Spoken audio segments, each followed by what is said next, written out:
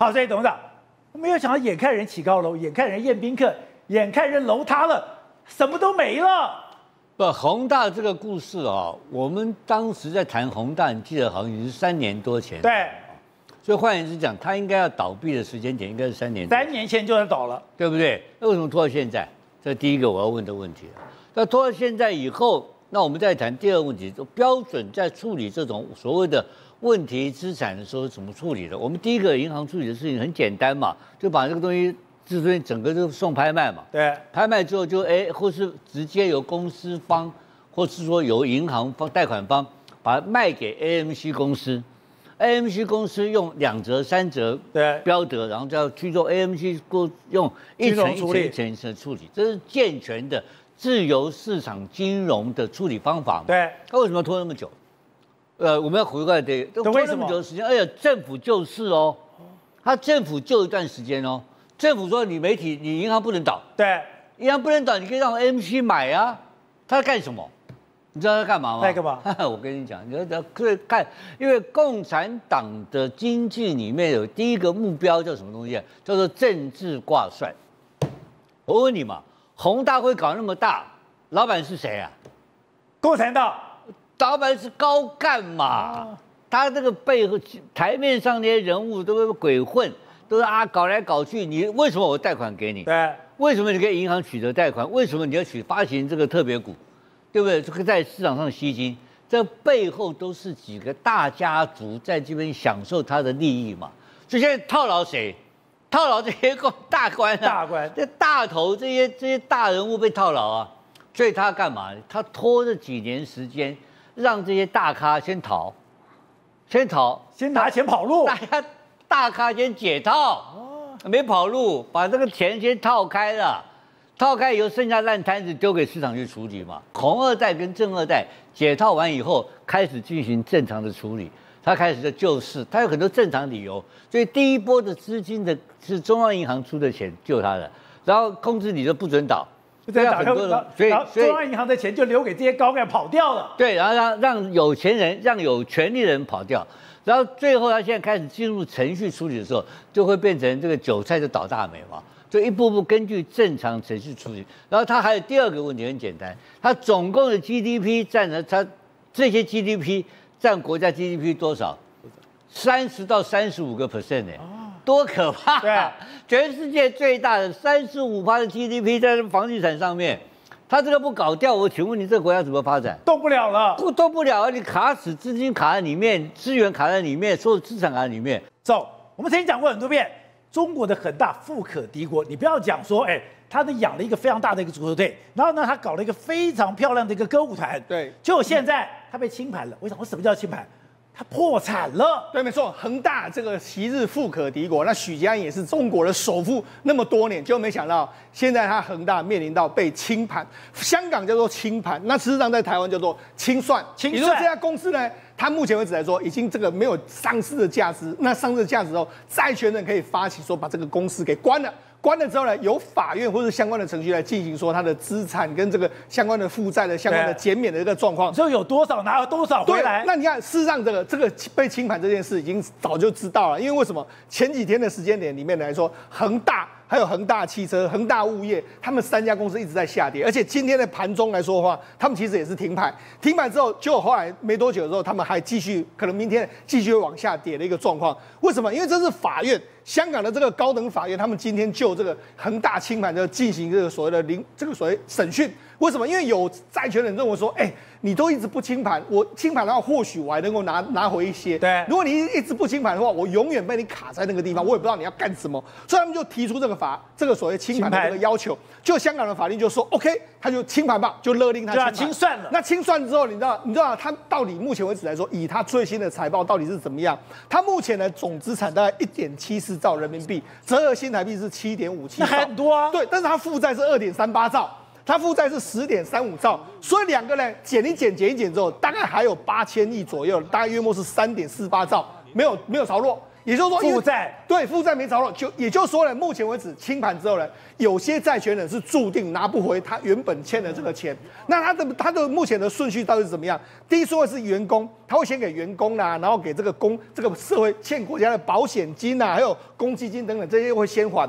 第二顺位是要还的各项的这个税款，然后第三顺位是要偿还的这个债权人。所以呢，第三顺位里面来说，恐怕很多人大概八千亿人民币左右的钱呢，没有没有着落。那你现在你现在恒大有这么多的房子，你还没有交屋，那我买恒大房子不就完蛋了？对，，目前为止来说，恐怕有面临到可能没办法交屋的这个状况。所以你要事实所以你上目前为止现在买恒大房子都完蛋了。所以目前为止来说的话，这个恒大可能目前在建的这个房子来说，如果如果假设它被清盘之后呢，他们有他们是有所谓的这个社保基金，还有这个这个公所谓的信托机制啊。那如果信托机制里面的钱没有被动用，或许你房子还可以盖个完，但是呢，大部分呢，目前为止大家都已经没办法盖完的这个局面是非常大。那甚至是现在大家大家清算说，那恒大到底有多严重？那恒大原本许家有一个梦想，它叫做恒大同世界。恒大同对，同世界什么意思呢？因为他说了，我在很多地方都要打造一个类似迪士尼这样一个状况。那我不知道打造迪士尼哦，你看它里面有什么童话大街啊，然后什么虚拟大街，这都是恒大的房子然后那个一个迪士尼旁边，它会有非常多的案子，所以它同时呢有有一个乐园之外，它还会有一个房房子在那边卖，有一个物业在那边卖。就这样，它现在到处。都是这样子的一个状况。你看，他在恒大的这个在贵贵阳阳有一个这个同世界，你看原本要盖成这个样子，但现在变成是这个样子，也都完全都弄不出来。对它占地有八千亩左右，那预计要投资上千亿，就变烂尾楼了对，现在房子随便一卖都是腰斩以上才能够卖得出去。那你看，这不是单一一个哦，这是贵阳的恒大哦。那你看他们在什么地方？在广西的南宁还有个恒大同世界。你看他们原本的规划是要做成这个样子，哇，里面这个童屋童童话的房子啊，然后游乐设施一大堆，就后来现在变成这个样子，根本完全盖不完。那这一个状况，那不是只有这样。你看，我们刚才讲到有贵阳，然后广西南宁之外，你看恒大江苏有一个同一个同世界，你看都是这么大的规模，就都盖盖成这个样子。那这是因为这个同事这个这些都是同世界，对，都是觉得都折通乐园，对，现在都变鬼屋了。盖不出、盖不完，而且那盖不，因为这种童话世界盖不完，反而最糟、最糟糕，因为你也不知道他要做什么，对。你也卖你住人也不对，那你要把它改建成什么？也不对，所以现在全全部都变成烂尾楼。那烂尾楼，你知道恒大还没有办法去这个照顾这些烂尾楼，你看这些烂尾楼全部都被偷走，里面样品屋的什么灯泡啦，然后什么什么什么冷气，全部都被搬走，对。所以等于是说你现在空有这个一个所谓的机空壳子在这个地方，但里面的东西全部都被搬走，所以你知道，事实上目前，哎、你要以为说这只有一两，只有我们讲到的什么很贵阳、南宁还有江苏，没有，它在中国有十七个这么多，你说这样有十七个，对，那所以这十七个来说，它每一个每一个投资都是超过好数千亿，甚至还有千亿人民币的规模，就没有现在全部都变成是烂尾楼。你看，我们就整理出来，它有这么多个啊，对。广西的，呃，这个南海南。呐、西安呐、安徽，你看一大堆，这些全部他都要投资这么多啊，投资这么多，现在完为止都完全没办法没办法有着落，而且很多案子是刚投资下去之后，哎，没多久就已经资金断裂，所以大事实上你看，他要说每一个计划都都要超过迪士尼，等于是中国有这么多的迪士尼的这个中国迪士尼，就被他现在完全这些完全跳票，对。所以来跟你讲，现在恒大进入所谓的清盘，就是被清算。我觉得这个路啊，这个对恒大来说当然是他完蛋了。可是他在中国留下这些这么庞大的烂尾楼，你到底要怎么解决？我们讲这个，其实我觉得这个其实是最难解决。它这些所谓的商场，这些所谓的童话世界，你到底要如何去善后？这恐怕是为变成未来中国房地产一个非常大的这个难题。而且现在不是说是恒大地产，它旁边像什么恒大汽车这些周边是也都完了吗？现在所有的恒大集团都要进入所谓清算的这个状况，所以我就说嘛，许家印过去呢，他有上千亿人民币的身家，未来可能都完全会灰飞烟灭。习近平有很多的内忧外患。我们刚才讲到了这个上海的这个股市，讲到了中国的经济，看到了这个大家隔壁在军演，全部假想敌都是他。习近平的内忧外患才严重吧？对，为什么说美国部署了那么多的军队在中国的附近哈？其实也跟中国内部的这个动乱是有关系的。我为什么讲动乱哈？因为你看到，你如果仔细观察最近的抖音，或是最近的中国的一些小小小短影片来讲的话，很多都在提出一件事情，就是他们内部的这个房贷的压力，已经使得他们的小老百姓完全支撑不住了。你知道吗？在去年来讲的话，整个前三季哦。所有的这个法拍屋来讲的话，比二零二二年的话同期了还要增加百分之呃增加百增增加三分之一左右。增加三分之一啊那为什么会这样子呢？其实这导因于说，在疫情之后，你知道，二零二二年疫情之后，然后本来大家各国都在复苏的经济来讲的话，中国没有复苏。中国来讲的话，这一场的股灾啦，其实也是导因于原本他们内部的这个所谓的失业率增加。那失业率增加来讲的话，没有收入，我怎么缴贷款？没有办法缴贷款的情况下，房贷、车贷全部都出了问题。而在所有的银行都在追缴这个房贷的情况之下，你看到了有很多的这个小市民，其实都被断，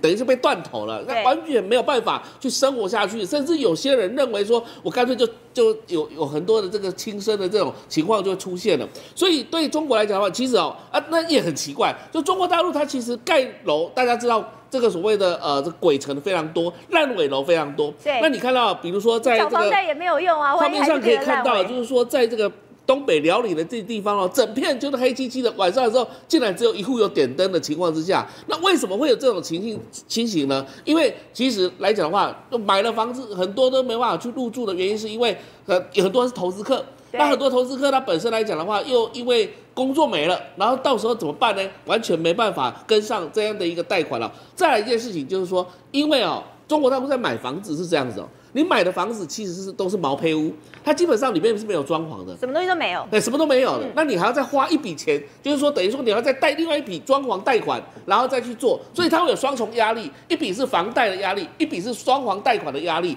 那这样子的话，你又刚好又失业的情况之下，完全整个小老百姓是没办法生活下去。也就是因为如此，内部来讲的话，开始有一些纷争跟动乱开始出现了，因为他们认为说，到底习近平执政怎么样？然后，那他现在连股市都要管，那大家为什么要到国外去求援，说救救他们的股市？其实说真的哦，对习近平来讲，这些都不是重点，这些都是所谓的市场经济。他们以前从文化大革命活下来的，他之前这几天不是还在讲一件事情吗？他不是吃包子吗？天津包子啊，那他讲天津包子说什么？他在文革时代的时候出来外面啊，他他他吃这个天津包子，所以大家一直在怀疑说，你又是不是要搞回去文革的这个时代啊？那如果你搞回文革的时代大家不是痛苦难堪吗？现在对他们来讲，已经尝过资本主义的甜美的果实之后，你要再叫他们再回到那个时代来讲，是不可能的事情。所以啊。这个对习近平来讲的话，统治数就是一个问题了哈。那内部来讲，就产生这种可能对他来讲也不利的一些言论，甚至于说，大家在寻找说有没有其他的这个反叛势力共主，就有可革命的可能性。不过过年前了，还在为吃的东西而担心，用的还有荷包的问题而担心。中国大陆的状况更是如此。慧珍，我们知道有人还甚至上街造反了。是，现在就发现说，哎，怎么中国在二零二三年上街去讨薪水的一个这种所谓的维权的运动越来越多？你看到，而且是各行各业、各个省份都有啊。事实上呢，这也是我们今年的陆委会特别去公布的，说这件事情其实成为中国未来动荡非常情情况要特别要注意的。你现在看到这个画面在哪里呢？在河北，河北呢，它这是吧，就是主要是新建工人，哎，他跑到建筑物的最上方，哎，然后呢，只能在寒风中拉布条讨薪水，因为他们很说，哎，我们这个这个工程是我们盖的，就我们这些工作的这些建筑工人到目前为止几乎都没有领到什么薪水，所以情况很严重。现在要过年了，你们大家都可以呃过个好年，跟我们的没有。你现在看到这个画面是在甘肃，甘肃的中城建筑公司啊，一样也是哦，也就是他们建筑工人到了天水市政府去讨薪啊，结果薪水没讨到，反而讨到一顿打。为什么？因为警察来镇压，至少有一两个啊建筑工人都被抓走。然后你现在看到是哪里呢？一样也是四川上百个建筑工人哦，攻占了四川的隆昌市政府为讨薪水。那你想说，哎，那你那个为什么会讨到市政府讨薪水呢？原来哦，他们的很多的工人是因为接到了啊，这个公司是接到了市政府的一个建筑工程，结果市政府欠薪啊，市政府欠薪，所以他们公司也倒了啊，这些薪工那个工程人员、建筑人员就没有薪水了。所以你看人数到处都在要薪水哦，到处在要嗯薪水，还有在哪里呢？其实很可怕哦。有的人就讨薪讨到后来真的是精疲力尽，钱都没有要到，只有讨来一顿打，所以怎么样，命都不想要活了。然后一样也是四川，四川的成都啊，也是上百名的工人一样为了讨薪，然后呢马找不完全没有办法结果呢就只好把马路给堵住了。也就是说呢，如果我们今天要不到薪水，你们大家大家每一个人的正常日子啊，日常生活也甭想过了。所以呢，现在其实类似的地方哦层出不穷，呃，还有包括哪里在河北一样也是河北，所以他们就说这个房地产的以工工资是这个所谓的欠薪水的重灾区啊。很多人不是说二零二三年在讨钱而已哦，他是二零二三年讨钱是讨二零二二年欠下来这么久的钱，对，所以他可嗯能前一两年都没有这样的薪水，所以你就知道他们这个苦日子真的要来了。中国市场来说，你看这几天的这个中国网网络上面来说啊，你看我们啊香港网香港的这个所谓民众是踢这个梅西泄愤嘛？那最近一段时间中国股民是怎么样？他们在网络上到处留言，那开始骂骂骂骂骂骂骂到现在为止。为什么今天习近平啊有传言说他已经开始进入所谓的证监会，要开始加班要救市了？他为什么？出手了因为大家都在骂他，网络上大家骂声一片啊！你看这种打倒习近平、打倒共产党才有未来，这个小学生害了多少中国人？看就变变成这样子啊！然后哪天怎样怎样呢？我觉得上证小学生死了，我觉得可以上证指数可以涨停啊！所以你看，现在大家开始把矛头指向习近平，这叫网络上大家都在那边新年气新气象，什么证监会、家破人亡，就这样都在唱衰证监会的。对，所以民众都非常的这种一股怒气在这个地方，所以呢，事实上目前为止来说，香港民众开心不起来，中国民众怒气非常多。好，那尤其是我们刚才不是讲到有一个这个这个这个所谓在骂习近平这一个大，哎，他不是一般人呢，他其实是一个这个中国的这个交易的这个大 V，所以大 V 就是他们非常知名的这个 bro 这个所谓网红交易员对，这这个尤其他交易员，而且他抛过非常多文章。那你知道，事实上他过去一段时间还跟什么胡锡进啊、李大李大霄等等的一直在参参加活动。他说心理按摩，他见到了胡锡进、李贝、李大霄，对，李胡锡进在这边，还有包括说像很多这个名人，这不是都是有买股的人吗？而且他是说他参加所谓微博的这个财经大 V 的这个活动，所以你就知道，事实上他其实是一个在在中国算是有小有知名度名人了就没想他就骂，因为他就骂骂这个习近平嘛，你看他就是在网络上骂骂骂骂这么哎，多。他不怕被消失吗？对，所以他就是搞不清楚状况嘛。他还骂说，国内一切问题的这个这个原因都指向了一个人，他还把抛出他这个文章，哎，这个图真的你知道，他这个真的是太指向性了。就听说了没多久，他发的这个 V 大这个所谓微博文章之后，听说他就不见了。不见的时候，目前为止来说，当然大家都在找他，他到底到哪里去不知道。所以到事实上，哎，目前为止来说，啊整个中国的这个股市里面来说，弥漫了一股所谓肃杀的这个气氛。对那肃杀到什么程度呢？肃杀大家都真的是心情非常不好。我们刚才不是讲吗？他为什么会有一堆这个留言？他在刷屏，为什么要刷屏？因为呢，有一个甘肃省的这个电视台的这个证券服务频道直播间，他就在那边讲这个这个股票，然后结果没想下面大家都说，人家讲什么讲，不用讲了，大家都很惨呐、他说怎么不把这群猪换了，股市好不了？对，然后大家都骂这骂一骂成一片的一个状况，甚至你看，他们就又又在这个找原因嘛，他们又找出一个这样国家金融监督这个管理总局那个总局的这个所谓党委书记，他名字他名字就说啊，他的名字来说，我们就会都会赔光，因为为什么？因为他的名字就真的叫赔光，他就姓裴赔光，光，对赔光，所以那大家都开始怪东怪西，就说都是你的名字取的不好、啊，都是裴光害的。对，都是这样。啊那你知道，事实上现在中国的散户真的是。信心崩盘，因为他们这几天的这个融资余额一直不断的往下降。简单来说，就是散户已经完全没有信心，开始在多杀多的一个局面。那多杀多多杀到什么程度？他们就到处求援嘛，能够能够骂了都骂了，然后能够这个怪罪都怪罪之后，还怪公司。那公司就只能说啊，不要这样啦，我们就是现在就大家远离股市，你就放下这个股市，平常心的过日子。所以呢，市场现在目前为止，中国上上下下找不出一个合理的这个对策。那总不出合理对策，我就讲，因为现在他们就是就像那个大 V 说的，他们问题都要指向一个人嘛。那那个人今天要开会，这人是谁？这就是习近平。那为什么要习近平？你看习近平来说，他为什么要亲自出来？我们讲在二零一五，如果大家知道这个军军这个所谓股市政变，当时不是有传言说这个红二代。或者很多这个所谓的这个这个所谓这个富二代开始在股票市场里面放空，然后股票市场从这个约莫是五千多哎三千多点，五五六千点一路跌跌到两千点，当时被习近平形容为政军事政这个所谓股市政变嘛。那当时是他找李克强，当时还有李克强，对现在他有谁？当时李克强在俄罗斯访问，他把他赶赶快连夜赶回来，然后赶回来就说我要这个暴力救市，然后就把股票市场就就稳住了。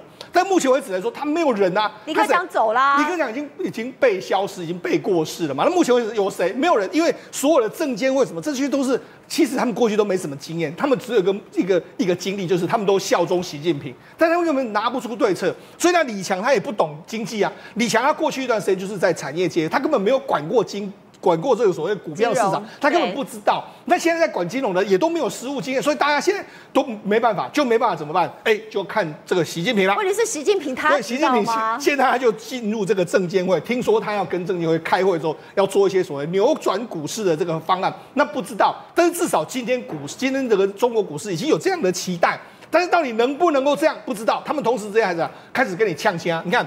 这个成二层所谓的这个操控操控市场恶意做空，然后切实维护市场稳定的运行。他就说，我们对零这个零容忍的这种所谓高压姿态，我们要坚决重拳打击，然后在违反操纵、恶意放空者要倾家荡产，这个牢底坐穿。所以警告你说，千万不要给我恶意放空哦。对，没错。所以你看，他们现在就只能够用这些手段。那当然有没有办法止住？我们就看到接下来几天中国股市的这个发展。中国竟然透过这个美墨边界偷偷移民到，不是移民，就偷渡到美国的情况，竟然在去年一年急起直追，哎，快要变成是最大宗的。然后他们讲到说，为什么会是这样的一个状况哦？然后就你看现在这个新闻六十分钟特别去做一个深度的一个相关的报道，他们讲到说，这个情况真的是光是二零二三年哦，光他们海关所逮到的就有两百五十万起，从墨西哥企图进入到美国，其中很大宗就是在中国这个部分。然后呢，还有什么？他们是穿越，而且他们很好笑，你看，你看那个画面，啊，你看，就是都是亚洲面孔。哎，很奇怪的是，以前我们看到美墨边境啊，都是这些西班牙裔，都是 amigos，但是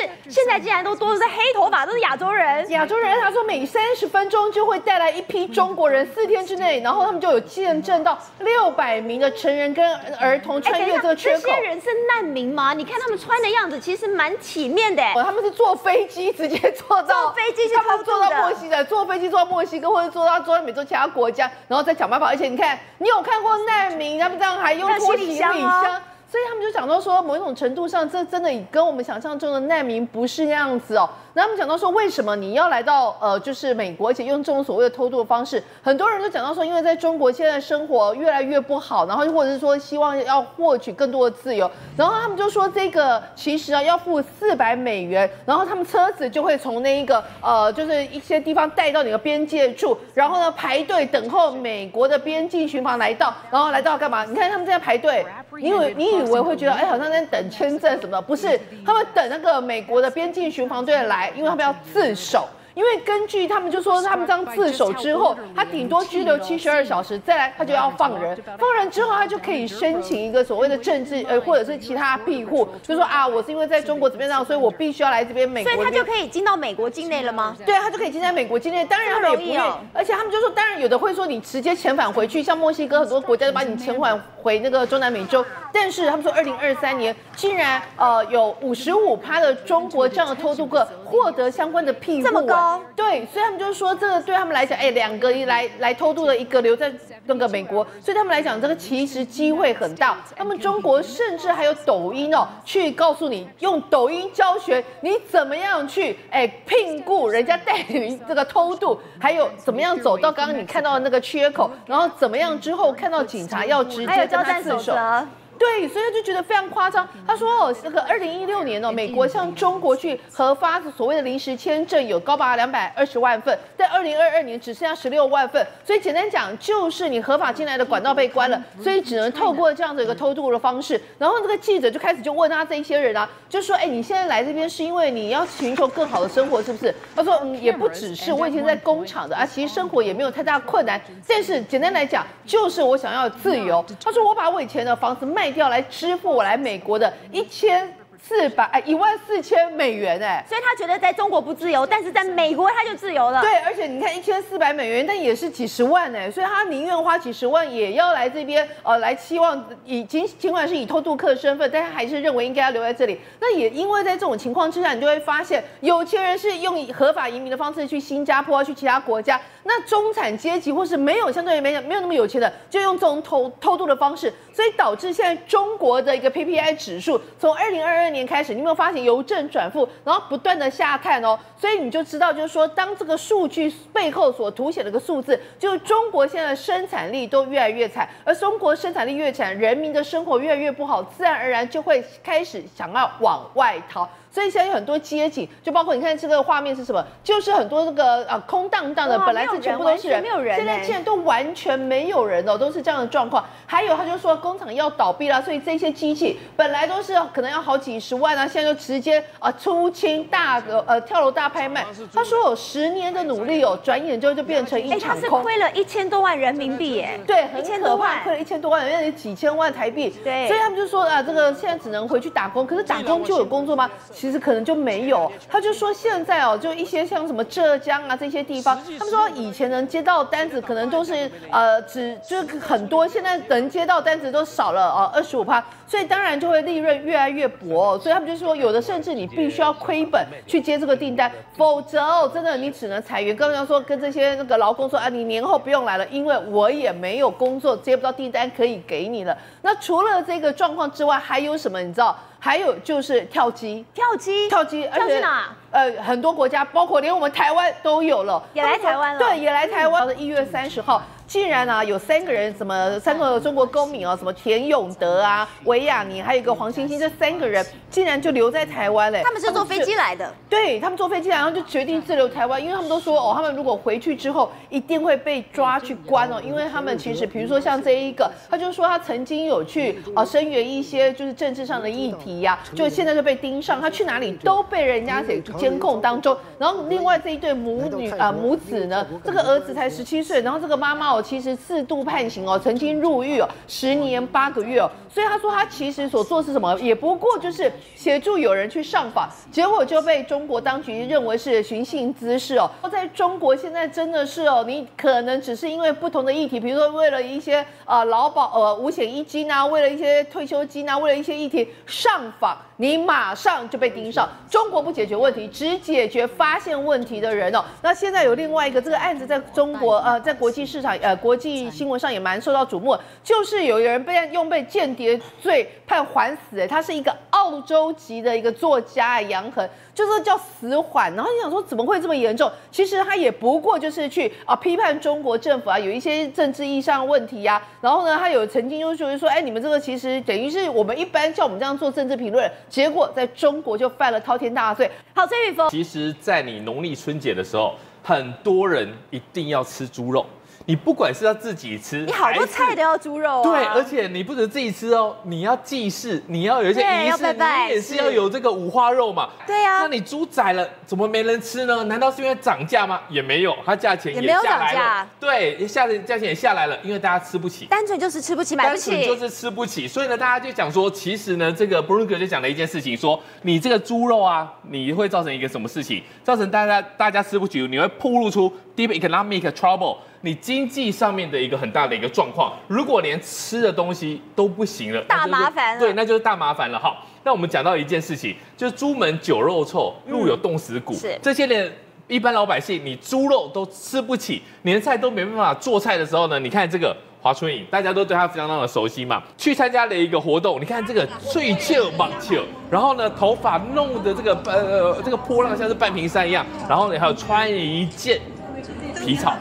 哎，这个在这种状况来下，大家都吃不起猪肉，你穿了一件皮草，然后呢那个 Hermes 的围巾，你看是不是很贵气？应该是把股民气疯了吧？对，大家就是想说你到底在干嘛？然后在过去的话，他曾经说过一句很有名的幸福说，他觉得他非常的骄傲，生长在现在，因为他觉得自己很幸福。那你看这个画面，他确实很幸福，我们看你很幸福啊网友都觉得说，天哪、你又不是在选美，何必呢？而且呢，很多人讽刺他的幸福说说，因为你有钱，你才可以穿得上，你当然幸福，但是我们恐怕这些农民工日子是过不下去的。好，所以很多人都还记得这一支习主席甘蔗吧？也就是呢，之前习近平下乡的时候呢，他就摸了摸这根甘蔗，结果没有想到这根甘蔗突然之间爆红了，好多人就来排队，就是要来摸一摸，来看一看这习主席摸过的甘蔗，把甘蔗都摸黑了。但问题是呢，现在最新传出的消息，有人竟然放了一把火，把这甘蔗田整个都烧掉，包括了习主席摸过的那根甘蔗。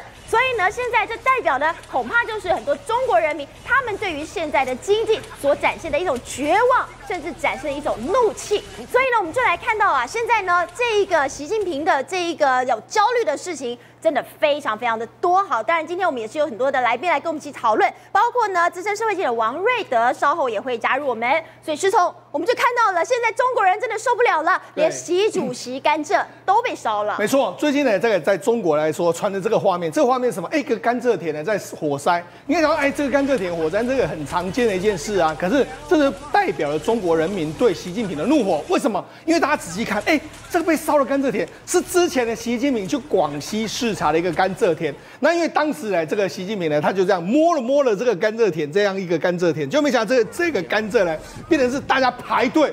去要去摸啊！这习主席摸过的这个甘蔗啊，那大家都排队去摸这一根。那这个甘蔗也被后来原本的绿绿的这个甘蔗被摸到变成黑色。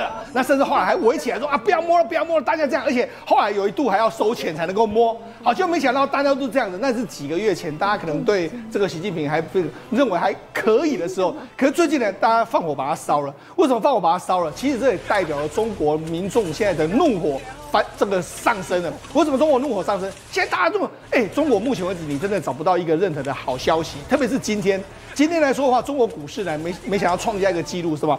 千档股票跌停板，然后而且你看，这是中国呢跌停了一千多档的这个状况，下跌的这个约莫都非常多，跌幅超过七八，都很惨啊。中国今天股市是相当相当糟糕的一个状况，创了这几年来的一个新低的这个数字。那特别是说，中国今天呢还是一个啥？他们今天还放还放这个所谓正式调降存款准备金两码放钱出来，就放钱出来之后还是救不住。那所以你就知道，事实上现在中国为什么大家对习近平真的非常的不有有意见？你看。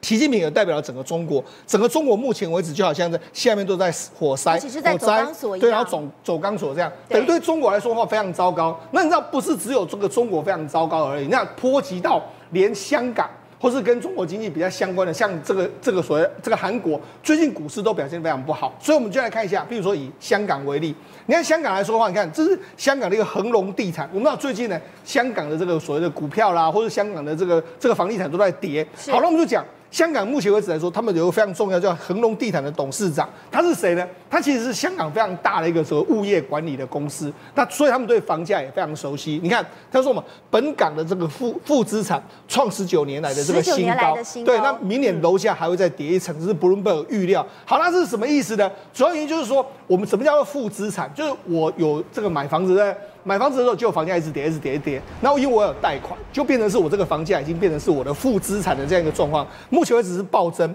去年来来说的话，约莫是这个这个约莫是这个比较少。那今年已经来到两万。一两万五千一百六十三宗，那也就是说，所谓的这个负资产的金额，从之前的五百九十三亿变成是一千三百一十三亿港币。那甚至这个李恒龙，那这个所谓的恒隆地产的这个陈启忠，他还说一句话，他说有两位对国内房地产非非常熟悉的朋友形容，大陆经济恐怕他们有先有生之年都不会好。你说有生之年，那个大概还三四十年左右，这么悲观？对，他说两个人悲观到不得了的这个状况，所以你就知道，事实上现在香港真的很糟糕。那为什么香港很？很糟糕，跟中国很糟糕，有一个原因，你看，因为我们这个之前不是说到吗？香港法院勒令说恒大你要清盘嘛，那清盘就是我们台湾的所谓结算，就是说把它清算掉。但是问题是，现在目前为止来说啊，它只能在这个境外清算，因为中国不允许你清算啊。对，所以现在等于说你到底要怎么清算？可是呢，因为这又是个漫长的官司要打下去，你可能这个接下来的话，要这个深圳法院或者北京法院这些法院，你都要认可之后，然后进行一个清算。那因为香港已经要清算，所以你在海外资产的部分，你现在就必须要进行一个所谓清算的这个状况。那这会波及到什么？会让整个这个恒大业业务会受受到很大的影响。那那恒大那股票最高的时候是新台币一点一七兆市值，就现在跌到多少？八十二亿。那几乎把那个市值都完全跌掉。那你看市值这么低，它负债这么高，你到底要怎么去运转？所以一旦恒大接下来的话，它表假设它抛出它手中非常多的这个烂尾楼，低价卖出去，那当然会对中国的房地产造成一个更大的压力。那你更不用讲，它目前为止还有六百多万名可能是买它的房子的业主，烂尾楼你没办法解决，所以才说这个所谓的烂尾的这个所谓的造成的这个海啸效应，到目前为止都还没有停住，所以我们就无法说中国真的非常好。可是，就算说我们说中国没有很好的时候呢，照理说，大家如果是在外面的市场，外面的市场的话，一定被大家骂翻了。大家都网络上很多文章都会出来，可是在中国上看不到这些文章，看不到的，中国的文章了。对，中国的文章都是好的文章。譬如说，我们看最近一段时间，你看这个是中国的这个这个新华社发发表的，我国经济回升向好，长期向好的基本趋势没有改变。还是告诉大家说，我们还是会越来越好的，对要增加大家的信心。没错，然后这样二这个所谓二号的时候呢，《人民日报》又给我知道，整个国家都洋溢着向上的这个这个氛围。他还引用一个德国共产党的一个记者来到这个中国访问，他就说：哇，中国的。住房啊，什么什么都非常好，整个国家都洋溢了这个向上的这个氛围，让我留下印象深刻的这个状况。然后还说什么，我中国民众都有什么获得感啊、幸福感啊、安全感明显的这个提升啊。就哎，你讲完之后，那大家看到这个文章都非常生气，因为这个文章的旁边或者下面都有什么中国股市跌幅非常重的这个画面。大家讲说你在讲什么？你到底在讲什么？那因为他们都没办法到网络上留言，所以这几天的时候，我们不是说过吗？他们都在网这个网什么？各国的驻外使馆的这个他们下面的微博去留言，因为这个留言不会被删，所以呢一大堆。你看现在当然最被这个我们台湾叫延上啊，就是类似是这个美国驻华大使馆。你看他下面一大堆被留言，那原本他是说什么？原本他们大使馆的发言人就说：“哎，那我们你可以一起来分享说，过去这五年你最想做，哎，这过去这一年你最想做没有做到的事情。”就大家都在分享什么啊？我抱怨 A 股狂跌了，后悔没有买美股了，对不对？然后就这样，所以大家都一直在那边这个歪楼，整个歪楼的这个状况。那歪楼歪楼，你看很多人都一直在那边这个骂，一直骂骂骂骂骂。你看什么，请用外交手段来接管。所以也就是说，其实这些留言跟这一个影片完全没有关系。这个影片明明就是美国大使馆他们在跟大家拜年，对。结果呢，因为到其他地方去留言，到其他的地方去 complain 会被删掉，对。所以他们就来美国大使馆的公版来留言。那后来还有一个所谓的长颈鹿的这个这个影片，那也是一样，大家疯狂的留言。所以现在大家都说这叫长颈鹿之乱。好，那你看他他们后来留言留什么？哎，他们公开在里面讲啊，我觉得习大大看到这些字，他可能会吓一跳。你看这几个，你看。哪天打过来，几亿老百姓就是你们坚实的后盾啊！好敢说啊！赔那么多钱啊，赶快来！然后两亿股民支持你们，来吧，我们带路。那说美国打过来的话，他们要带路。对，然后真的趁现在民心涣散的时候打过来吧，宁可双输也不让权贵单赢啊！就大家都输算了。你就知道现在股民的心态就是真的赔了非常非常惨的一个状况。好，那我就因为股市赔的非常惨的时候，最近一段时间来说话，大家不是在曾经在热议习近平的身体吗？好，那热议习近平的身体来说话，就是最近呢，在这个假日的时间点，突然之间有一个有一个新闻上了这个中国的微博热搜。它这微博热搜是什么？中国网这个官媒的《齐鲁晚报》报道，这个一月三十一号，一个河南的网红叫王大娟，然后她的这个她官宣说，她的丈夫呢，这个当天早上不幸胰脏癌这个胰腺癌过世，年仅三十二岁。就那哎，这个。没什么重要事情啊，就没想居然大家都在转发，然后大量的在讨论，就没想居然上了微博热搜，哦，还上了热搜榜。那上了热搜榜，很多人都完全不知道，那关键字到底是什么嘞？在到底在做什么？大家在这那这也能上热搜？那发生什么大事？因为很多人不认识这个网红是谁啊，对，就觉得很奇怪啊。然后人家很多人后来就大家就点出了一个重点，他说这样子，因为大家在讨论这个胰这个所谓肺腺癌之后，然后后来他甚至连讨论串都被人家封锁，这个胰腺癌讨论这些都不行。然后就有人回复说：“哎，这是什么名人值得上这个热搜？不是，就他就说什么？他说不是名人，他得了癌是名癌。所以现在还有一个癌症在中国大陆叫名癌，也就是这个所谓的胰腺癌，台湾叫胰岛癌。不能讨论，为什么不能讨论？因为主要原因就是因为最近网络不是在说吗？习近平他整个人。”瘦了非常多吗？你看，这是去年年底的照片，十一月的时候，对，那是最近的出来的照片。你看，哎，好像比起来的话，他好像身体，如果我们光看他的西装来说话，哎，好像有略小一点点，比较对的这样一个感觉。大家想，哎，难道他真的？后来网络上就有传言说，哎，这个从医院流出来说，他有这个造很多这个直所谓中直指的这个所谓共振，然后去检查，有人就质疑说他得了这个肺腺癌。好，那为什么这样子？为什么大家？哎，但是后来他这几天又出来了。这些出来，哎，他到天津呐，到这个这个地方去考察，就在我们现在看到这个画面。可是他看到这个画面的时候，大家看的时候反而觉得更奇怪。哦，为什么更奇怪？如果陈毅你仔细看哦，这些旁边的人呢，他们有穿大衣没有错。但是没有一个人像习近平穿了那么多的这个大衣在穿的特别厚，好大一只。很，你看旁边的人当然也是穿着这个厚衣服，但没有人像他穿的那么厚。他是告诉大家我没有变瘦吧？对，而且他还穿了一个围脖，对不对？围脖脖在这个围在脖子上。哎，他不是以前啊来来说，他其实身体。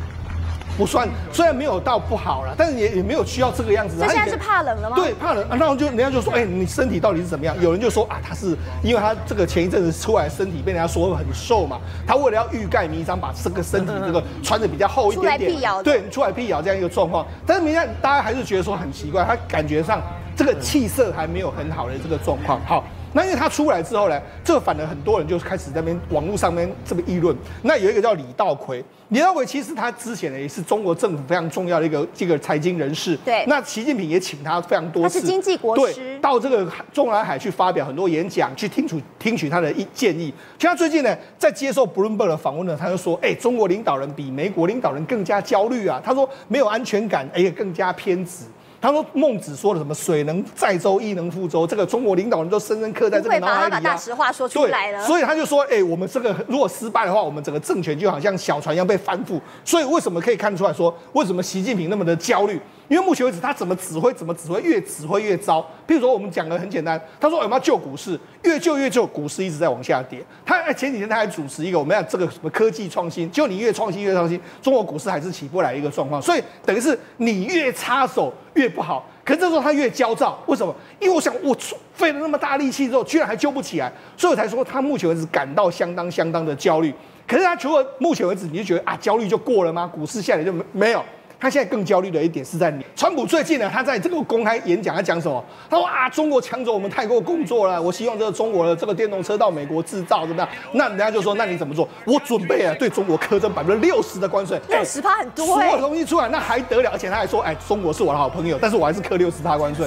所以呢，哎，过去这个拜这个川普，我们再怎么讲他，他说到的事情，他大部分都会真的会就就算是美国人自己都买不起，他也没关系。对，他会做，所以你就知道市场现在他现在怎么搞。如果他这样搞下去的话，中国还得了？所以才说嘛，事实上今年对习近平来说的话，坏日子还没过去，恐怕这个苦日子或者他无法控制的这个局面，还会经过一一段非常久的这个时间。好，所以于峰，其实我们来看到啊，经济到底好不好，就看民众吃什么就知道了。那么尤其呢，大人吃什么不重要，好的一定是留给孩子吃吧。是但问题是，现在中国的学生他们都在吃什么？对，现在来讲的话，他们大陆吃一个叫预制菜的东西。预制菜是预制菜其实有点像是我们的料理包，调理包可是呢，这个调理包又跟我们想的又不太一样哦。哦你知道吗？这是一个餐厅，这个餐厅呢，它卖豚骨肉汤，听起来没有问题嘛，对不对？然后呢，它卖多少钱呢？一百二十八块人民币，折合台币大概是五百五十八块。可是后来就被人家踢爆了，这个东西你一一碗五百五十八五百五十八块台币，可是实际上的成本只有多少？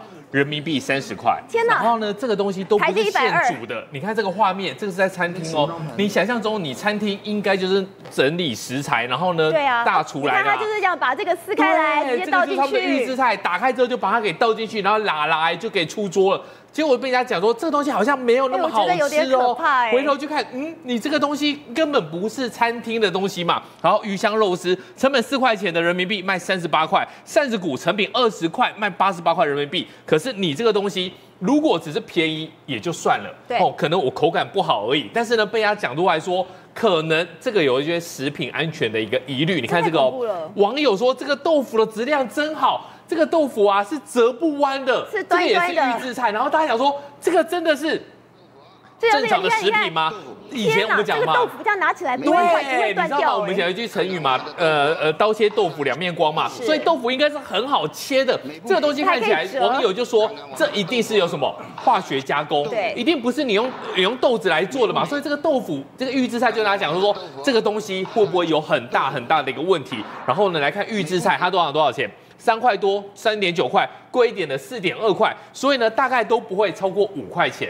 那预制菜五块钱，然后呢，你卖到学校去，卖到去餐馆去，那到底有没有问题？就跟叶子跳出来讲的，因为预制菜呢，它都先帮你弄好，弄好之后有一个很大的一个问题，如果你的运输过程当中，你的冷链没有完整，那会变成什么样子就会？变质啊。对，你在工厂你在工厂，你弄好了之后呢，你是冷的，可是你出去常温运送，你就变质了。然后呢，送到之后呢，你回到这个餐厅，你又把它冰起来，然后等到要吃的时候再拿出来，其实里面的细菌已经滋生了。所以呢，大家就在想说，到底他们的学生吃到了是不是类似的事情？就有人就讲说，整个学校、整个班级全部都拉肚子。太可怕了。那拉肚子的情况之下的话，很多的家长就说不行不行，不能再吃这种预制菜了。所以呢，他们要求说我们自己怎么样送校呃送菜到校园去，送便当以前都不用，但是有其他家长家长说，哎。那如果我们都要上班的人怎么办呢？那你说为什么这预制菜会造成这么大的一个问题？因为现在来讲的话，是他们官方推行的一个大的产业。他们说什么？这个东西是一个新的万亿级，就是兆。好、他们现在的一个整个行业里面可以规模到多多少？到一点零七兆，大哥大约和在台币是四点六兆的一这就是我个新台币牺。牲孩子的健康也没关系吗？呃，应该也不是这样说。可是呢，其实，在整个行业的推动过程当中呢，自然的孩子的健康就被牺牲了。总是要有点牺牲对，因为？他们哦做了很多的一些的一个比赛。这比赛是什么？我们来做这个预制菜的一个比赛。然后呢，有很多菜，你现在目前看起来好像，哎，这个画面都做弄得很漂亮嘛，色香味俱全。但是看起来而已哦。对，这是看起来而已。你比赛的时候，你当然是努力去做嘛。可是你真正就像我们刚才上一章讲的，你要销价竞争的时候，你就想嘛，陈一道菜只要五块人民币，大概二十几块、二三十几块人民币。然后呢，运送过程又没有完整的冷链，会不会出问题？当然会肯定是会出问题的。然后现在来讲的话，他们最怕的一件事情就是说呢，你要推动这个行业的发展，但是呢，你千万不要牺牲到小朋友的一个健康。那现在来讲的话，因为中国大陆那边来讲，经济真的有很大很大的一个状况。对如果吃不饱，会不会闹事？当然一定会闹的。其实过中国历代以来，大部分的朝代为什么会被人家揭竿起义？人民吃不饱民以，食农民为天的不饱，对，民以食为天如。果未来经济出状况的话，问题是现在你看到中国官员还在抓什么？对村民现在想要办斗，想要办个满月酒，竟然都不行啊！现在来讲的话，你在过去来说的话，过与不及都不太好。这个女生呢，非常的漂亮，然后呢，她在外面打工，打完工之后呢，回到贵州，她讲说，哎呦。天呐、你们这这个这个这个习俗也太可怕了吧！就是我今天已经吃了六台喜酒了，一天吗对，一天吃六台，然后二十一个月要吃到二十桌，然后他就想说，你知道吗？有各式各样的，有一个人他就想要搞个酒席，然后搞个酒席呢，就讲说这个东西来我来一个，代表什么意思？你们每次办酒席，我就得包钱，我就得出分菜钱，那我也来一个，但是你找不到名目。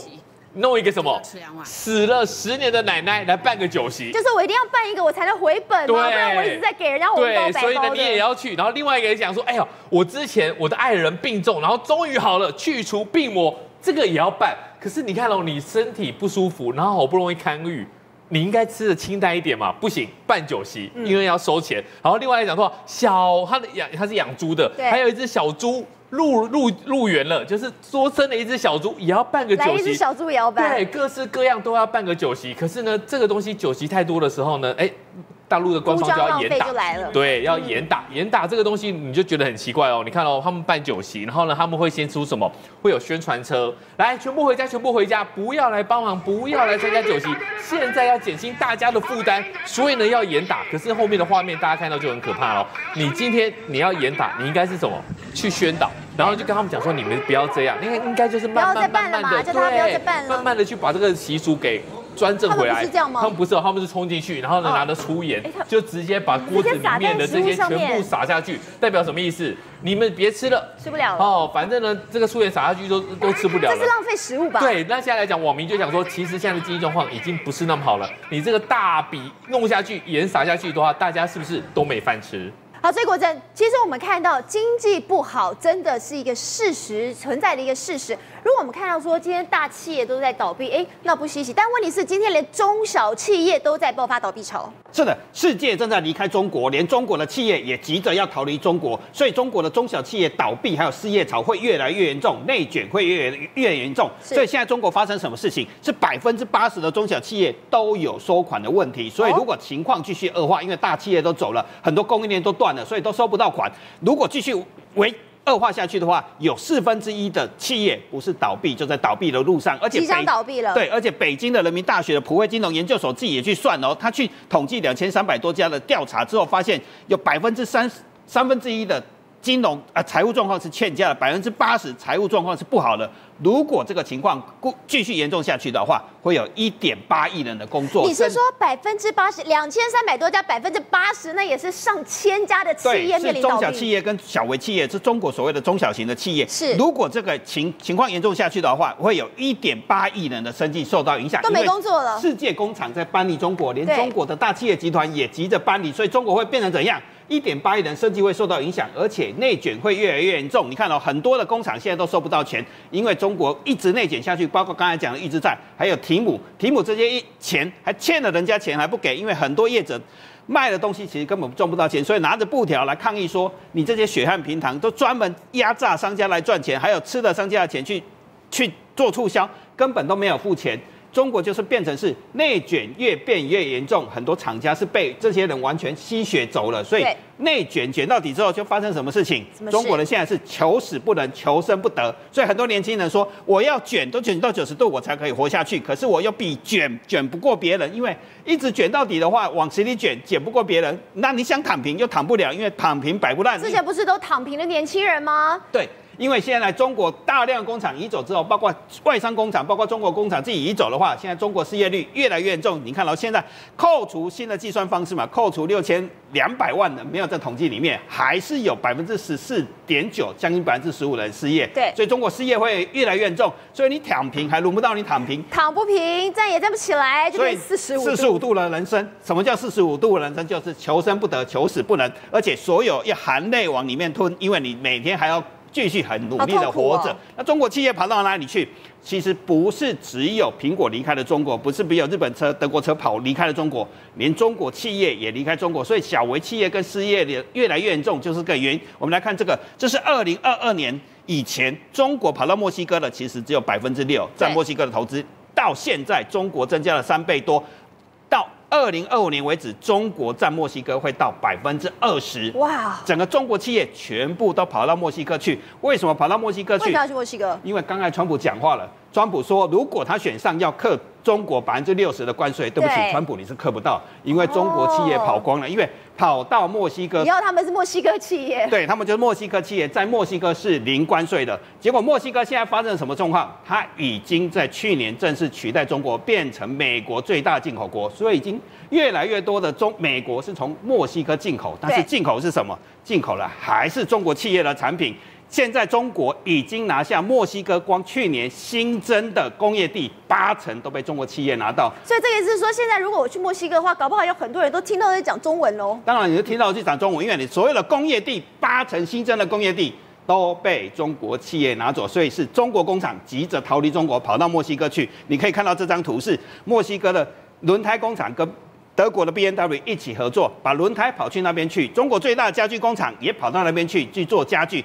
中国的联想电脑做伺服器、做笔电的，一样跑到那边去。所以墨西哥是怎样出口大量的家具、大量的笔电卖到美国去，连车子、车轮，连比亚迪，中国不是比亚迪是中国之光吗？现在他也说要跑到墨西哥去，所以整个中国、美国进口是在中国的，在墨西哥中国企业的产品，所以川普他们克不到关税啊，而且中国企业跑掉了，还不只是墨西哥，他跑到了泰国，你看。去年上半年增加了四倍，跑到泰国增加了四倍，跑到越南增加百分之三十七，都比日本都还要多，所以就会看到一条线，就可以看得很清楚。出口到美国的，这是中国的线，中国出口占比一直往下掉，掉到这里，墨西哥升上来，出现了黄金交叉，墨西哥成为就在最这个地方，黄金交叉。对，所以世界离开了中国，但是中国没有离开世界，中国跑到东南亚升上来，所以可以看到，你看增加了百分之六十，而且增加了中国比墨西哥的投资比美国还要高。中国虽然卖到美国越来越少，但是卖到墨西哥的东西越来越多，在代表什么？中国大量利用产品卖到美国去，从墨西哥卖到美国去。可是那样的现象也会发生的，结果中国人透过墨西哥跑到美国，非法移入美国或逃进美国的越来越多，因为中国人。你看，刚才讲的四十五度了人生越来越痛苦，在中国看不到希望，所以增十四个月增加二点八倍，总共有二点三万人，一季只有二点八万人跑到从墨西哥跑到美国去。这不是说有一个叫你怎么样去非法入境美国的一个宝典吗？你要经过一个丛林，然后呢，他就告诉你说，哎，你要怎么着怎么样过去？就是大家看到说，哎，在边境好多那种其实穿的很体面的人，他看起来一点都不像是很可怜的，好像那可怜兮兮的难民啊。所以利用这种中国投资潮或中国往外移动的时候，大量中国人透过这样的边界的方式跑到美国去，对也看到中国越来越多企业跑到美国去，那代表中国其实未来事业潮跟中国中小企业倒闭的会越来越严重。Bye.